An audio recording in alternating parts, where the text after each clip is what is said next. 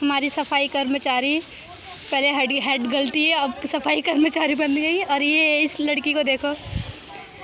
घर पे तो काम किया नहीं जाता है, यहाँ पे आके काम कर रही है। वीडियो बनवाने सारी सच्चाई तो ये है, वीडियो बनवाने के लिए ये लोग काम कर रहे हैं, वरना ये तो वो भी नहीं करते।